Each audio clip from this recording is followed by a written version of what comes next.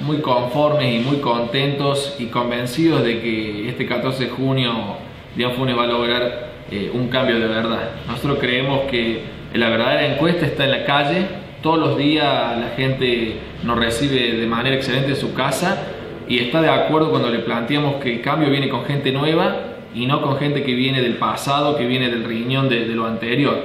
Entonces... Cuando hablas del riñón de anterior, ¿te estás refiriendo a Tito Figueroa o algún candidato específico? A, varios, a varios. Eh, Tito Figueroa sería uno de, esos que viene también de, del riñón riñón, de los que, de los que han trabajado junto con, con, el, con el gobierno anterior, con el gobierno que ha reconocido eh, su, malversación de fondos, o sea, que han robado. Sí, a ellos me refiero. Entonces, cuando uno le plantea a la gente que realmente las alternativas son eh, que hace falta gente nueva en la política y nueva de verdad, gente que no tenga complicidad ni compromisos con el pasado. Así que en ese sentido, Lucero, eh, la gente nos acompaña y está de acuerdo en el planteo. Nosotros le decimos que venimos, queremos construir, queremos construir con la gente, queremos construir una municipalidad puertas abiertas queremos construir entre todo este Dianfune para salir adelante. Las instituciones que estamos visitando también. ¿Hoy estuviste con la gente de la cooperativa? Hoy estuve con la gente de la cooperativa Luz, estuvimos hablando de, de armar un convenio para promocionar la pequeña y media empresa en Dianfunes, para que en el área industrial haya un convenio para que la luz le pase a costo más un 20%, porque realmente hoy en día los costos de la luz eh, nos dejan afuera del mercado competitivo y ellos también están de acuerdo que el cambio se logra eh, con, gente nueva en la política, con gente nueva, cuando, yo digo, cuando digo nuevo, digo que no tenga compromiso con el pasado o complicidad con el pasado. Porque si uno lee la ley 8102 un ratito, Lucero, se da cuenta que los que han sido concejales, los tribunales de cuenta, eh, no cumplieron con sus funciones, si no, no hubiéramos llegado a la situación que llegamos. O sea, cuando hablas de complicidad también vos hablas que su silencio en parte pudo haber sido eso. Claro, totalmente. Por acción o por omisión. Sería por omisión como mínimo. Eh, se habla de una suerte de amesetamiento de tu respectiva, de, tu, del crecimiento de tu imagen o de tu intención de voto. ¿Qué información manejas a la misma? ¿Tú crees que este dato que ha salido tiene algún tipo de tufillo político? Totalmente, yo creo que tiene tufillo político y además creo que es de las cuadras, de pocas cuadras alrededor de la plaza, porque eh, como te digo, cuando uno camina Barrio Paz, cuando uno camina Barrio eh, Moreira Ross, a ver, todos están de acuerdo y mucha gente dice, no, acá la elección está polarizada, se va a definir entre usted y el que, está gobernando y sin duda eh, usted es el cambio. Eh, esa es la verdadera encuesta, la de la gente. Por eso yo hace un rato te ¿vos crees eso? Y no, no cree nadie.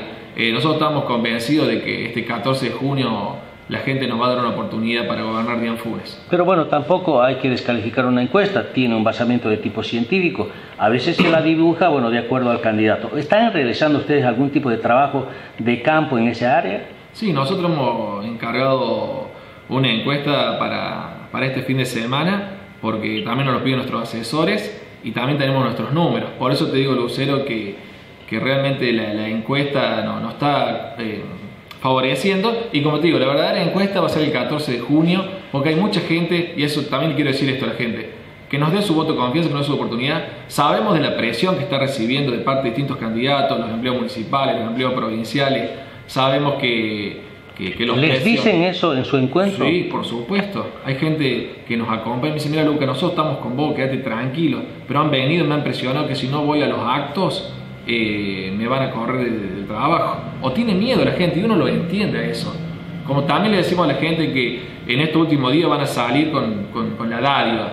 Nosotros estamos, a ver, reciban si les hace falta, pero voten a conciencia. Porque realmente si no, ¿quién va a ganar? El que más bolsones tenga, no el que más convicción tenga de trabajar por su pueblo o el mejor equipo.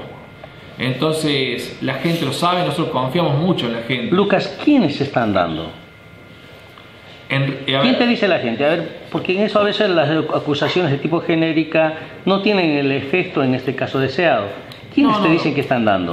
lo que, yo no dije que la gente estaba... Sí, la gente, bolsones, bueno... Van a salir, van a salir los últimos cuatro días los ceros. Y si no, lo comprobemos después. Lamentablemente... Lo vamos a filmarlo, no tengo inconveniente. Sí, sí, eh, que ya están... Las presiones están. Sí, y que ya están los galpones con los bolsones esperando listos para salir. A ver, lo han hecho siempre, los lo han hecho en la interna peronista hace pocos días, digamos. No es, es más, No a mí no nuevo. me gusta la campaña sucia para nada. Yo lo que no estoy planteando eso, yo lo que estoy diciendo a la gente, si vienen a darles, reciban, pero no voten por eso. Porque si no, entonces ¿quién gana? El que tiene más bolsones. No es así, tiene que ganar el que tiene mejor equipo, el que tiene mejor proyecto, el que tiene ganas de trabajar por Dian Funes. Y lo de la presión a los empleos, a los auxiliares eh, de los colegios, de los colegios, a los empleos municipales, existe. Y está bueno, Lucero, usted es un periodista. Denunciar, es que es bueno denunciarlo, por no, eso por, nosotros... por eso lo estoy diciendo, y aparte usted es un periodista de raza que, que también lo puede comprobar. Y también te digo, porque, a ver, digo, caminamos el barrio, ayer estuvimos charlando con una señora, me dice, sí, porque vino, y eso sí no voy a decir personal, porque yo no tengo las pruebas, dice, vino un candidato y me dijo, yo le pedí un terreno, y él me dijo que acá, acá cruzando el canal hay un terreno disponible. Digo, señora, nosotros vamos a hacer, vamos a hacer un plan de vivienda municipal y vamos a hacer un relevamiento de todos los terrenos que hay en Dianfunes y ver cuáles se puede disponer y cuáles no, y de acuerdo a un trabajo en conjunto con desarrollo social y con economía, ver si realmente se le puede colaborar y darle un terreno para que usted pueda construir su casa.